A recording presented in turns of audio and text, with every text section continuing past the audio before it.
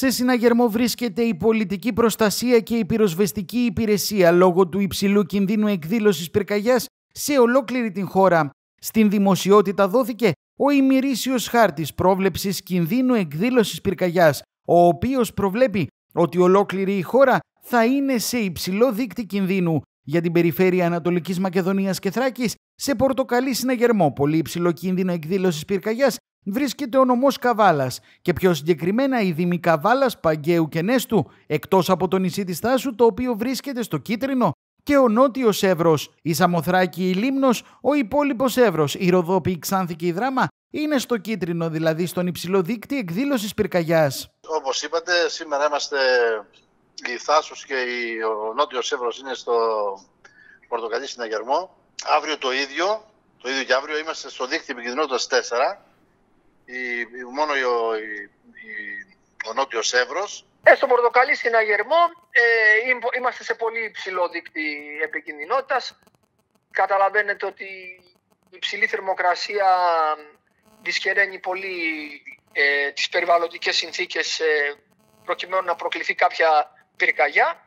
Ε, με τον πολύ ψηλό δίκτυο επικινδυνότητας ε, ενεργοποιούμε εθελοντικές ομάδες επιπλέον ε, ε, περιπολικά ε, στην, ε, στο, στην πυροσβεστική υπηρεσία Καβάλας και όχι μόνο και στη Χρυσούπολη και στην ε, Ελευθερούπολη.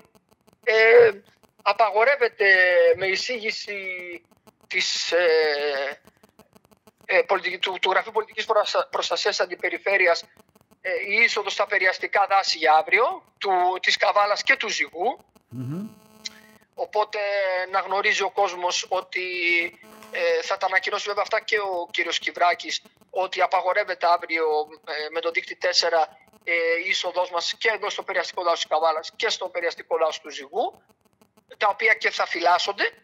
Ε, οπότε ε, αυτά. Είμαστε έτοιμοι να περιμένουμε αυτά όπως γνωρίζετε και γι' αυτό ενεργοποιούμε άμεσα όλες τις, ε, όλους τους μηχανισμούς προκειμένου να αποφευθούν τα χειρότερα. Την ίδια στιγμή η πυρκαγιά εκδηλώθηκε νωρίς το μεσημέρι της Κυριακής 1 Αυγούστου σε δασική έκταση στον Δήμο Σουφλίου. Στο σημείο έσπευσαν ισχυρές πυροσβεστικές δυνάμεις για να θέσουν υπό έλεγχο το μέτωπο. Ήδη έχουμε εκδήλωση πυρκαγιάς αυτή τη στιγμή στο χωριό Κοτρονιά. Είναι πάνω από το Σουφλί. Έχει κινητοποιηθεί το ελικόπτερο της, ε, που εδρεύει στο αεροδρόμιο και συνεχίζουμε κι εμείς ε, όλες οι δυνάμεις για πάνω. Πρέπει να είμαστε λοιπόν ιδιαίτερα προσεκτικοί τα επόμενα 24 ώρα για να μην δημιουργηθεί κανένα πρόβλημα. Α, αύριο βάσει του δίκτυου επικοινωνίας απαγορεύεται και η κίνηση των ε, πολιτών στις, στις δασικές περιοχές. Αξίζει να σημειωθεί ότι από την Δευτέρα 2 Αυγούστου τίθεται σε εφαρμογή η απόφαση για την απαγόρευση εισόδου στα περιαστικά δάση και στα άλση του νομού Καβάλας λόγω του πολύ υψηλού κινδύνου εκδήλωσης πυρκαγιάς. Έτσι ακριβώς, ε, όπως γνωρίζουμε όλοι, βρισκόμαστε εν μέσω της καλοκαιρινής ε, περίοδου, εν μέσω της αντιπυρικής ε, ε, περίοδου και είναι λογικό όλες οι υπηρεσίες και η προσβεστική υπηρεσία αλλά και η πολιτική προστασία ε, να βρίσκεται επιποδό. Και μάλιστα όταν έχουμε ήδη τα μηνύματα, όπως είπατε και εσείς, ότι από αύριο ο νομός της Καβάλας μπαίνει στην, στο, στο κλιμάκιο 4, ε, που σημαίνει ότι υπάρχει αυξημένος ε, κίνδυνος εκδήλωσης ε, πυρκαγιών. Γι' αυτό τον λόγο θα υπογράψουμε αύριο μια απόφαση όπου σύμφωνα με την πολιτική μου προστασία θα απαγορεύουμε τις μετακινήσεις στα άλση και στο περιαστικό με δάσος καθώς επίσης οι πολίτες πρέπει να είναι ιδιαίτερα προσεκτικοί σε οτιδήποτε έχει να κάνει με εκδήλωση πυρκαγιάς. Φυσικά με όλες οι υπηρεσίες ε, της Περιφερειακής Ενότητας Καβάλας και η πολιτική προστασία αλλά και η διεύθυνση τεχνικών έργων ε, είναι σε επιφυλακή με τα μηχανήματά μας, ε, με, με το προσωπικό μας. Και αυτό που ακόμη μια φορά οφείλω να τονίσω και μέσα από την εκπομπή σας είναι ότι πρέπει να είμαστε ιδιαίτερα προσεκτικοί. Ήδη τα προηγούμενα χρόνια και η Καβάλα και η Θάσος έχει, έχει πληρώσει το τίμημα των πυρκαγιών και γι' αυτό τον λόγο καλώ τους συμπολίτες μας να είναι σε επιφυλακή και ιδιαίτερα προσεκτικοί. Για το Δήμο Καβάλα σημαίνει ότι τα βιντεοφόρα μας πρέπει να είναι γεμάτα, που είναι ούτως ή άλλως ε, κατά την καλοκαιρινή περίοδο. Ε, οι οδηγοί επίσης να είναι σε επιφυλακή και προσωπικό σε επιφυλακή μήπως χρειαστεί. Αυτό λοιπόν ήδη έχει προετοιμαστεί η καθαριότητα. Τώρα έχει και μία σύσκεψη με τον κύριο Ρινάκη. Δεν ξέρω αν θα πει κάτι ε, έξτρα το οποίο πρέπει να κάνουμε. Πάντως από το σχέδιο που υπάρχει Αυτές είναι προς το παρόν οι υποχρεώσεις του Δήμου. Και μια και μου τηλεφωνήσατε, θα ήθελα μέσα από το σταθμό σας να πούμε σε όλους τους συνδημότες μας να προσέχουν αυτές τις μέρες με τον καύσωνα και ιδίως στα ορεινά, στα ορεινά και να μην και με χόρτα ή ακόμη και στον, και μες στην πόλη, να μην και με χόρτα. Ε, και η φωτιά είναι πολύ εύκολο να μεταδοθεί. Με την παρατεταμένη ανομβρία, όπως ξέρετε, όλο τον Ιούλιο δεν είχαμε σταγόνα σχεδόν νερό. Ε, σε αντίθεση με τον Ιούνιο, ο οποίος δημιούργησε μεγάλη βλάστηση.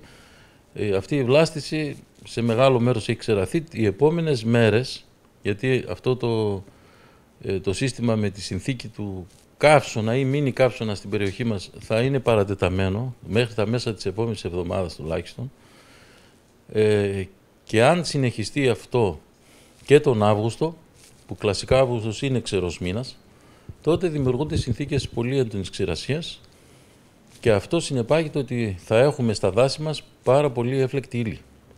Ευτυχώς η άνεμη δεν θα είναι τόσο ισχυρή και αν εκδηλωθεί κάποια αιστεία, ε, αυτό θα, θα κάνει πιο εύκολο το έργο της πυροσβεστικής και των εναέριων μέσων γενικά, των επίγειων και των εναέριων. Όμως, εμείς πρέπει να επενδύουμε πάρα πολύ στην πρόληψη.